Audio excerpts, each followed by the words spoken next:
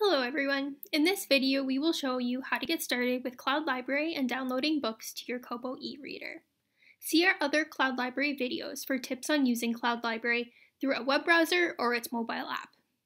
This video will focus on downloading the Cloud Library app for Windows or Mac computers and transferring the ebooks to a Kobo device.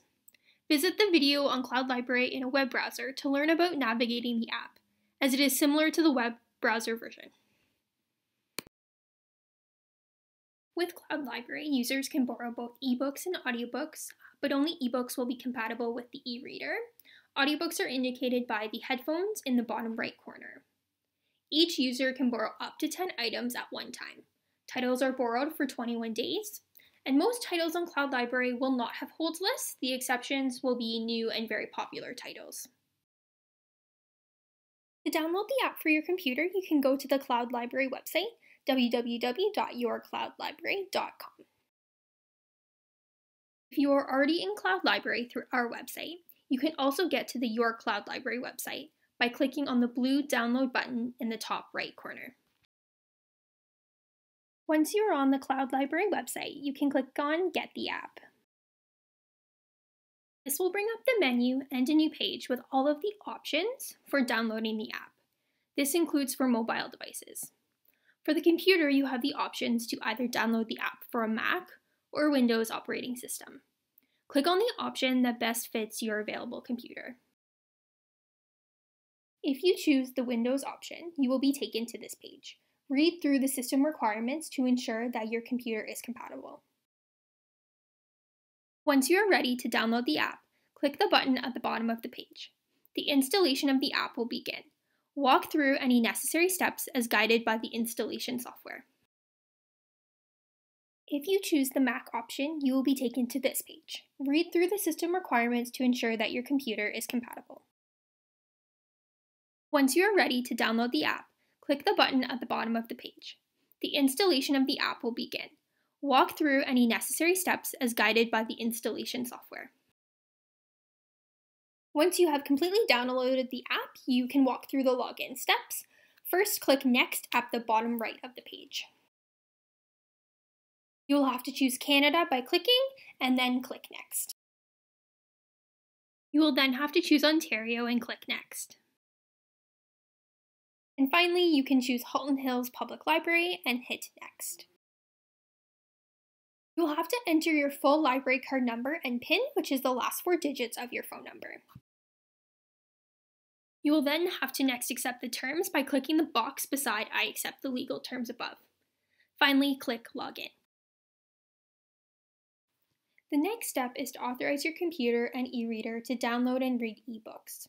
You will have to authorize your computer and e-reader either using an existing Adobe ID, and this is if you use Adobe Digital Editions for Overdrive or Libby, or one generated by Cloud Library.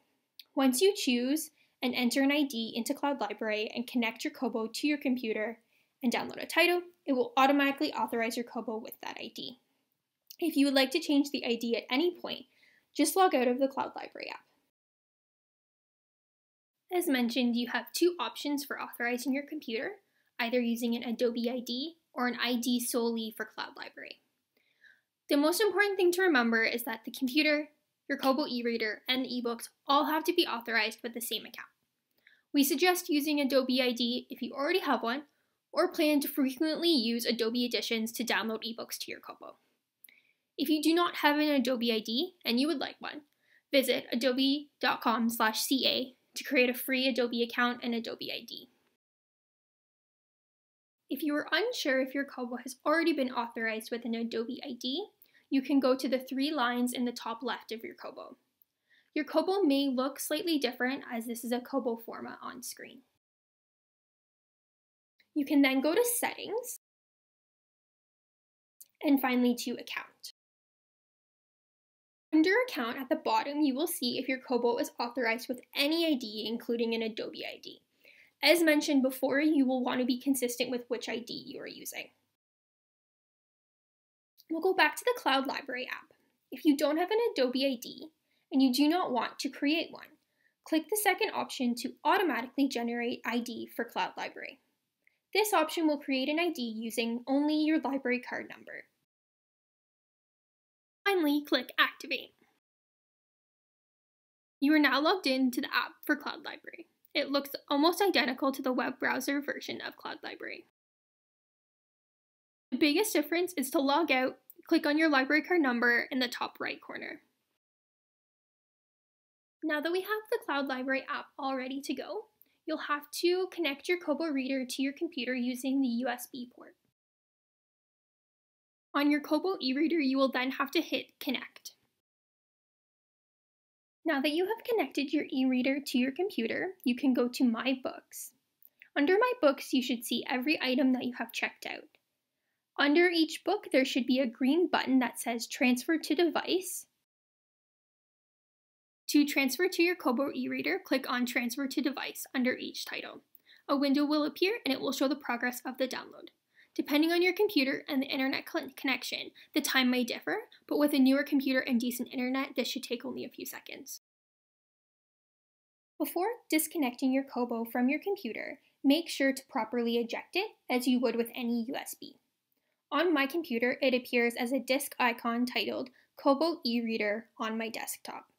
You then right click on the icon and select Eject Kobo e-reader. This may appear slightly different on your own computer. If you are having any troubles with your account, books not appearing, error messages, always try to log out of your account and log back in, or to delete and reinstall the Cloud Library app. If you have any questions about your account or Cloud Library, send us an email at askus at haltonhills.ca. In your message, please include as much information as possible, including the exact error message, and if possible, please include any steps you have already taken. Thank you for listening. Discover Cloud Library for yourself. Download the app or go online. Cloud Library is free with your Halton Hills Public Library card. Happy reading!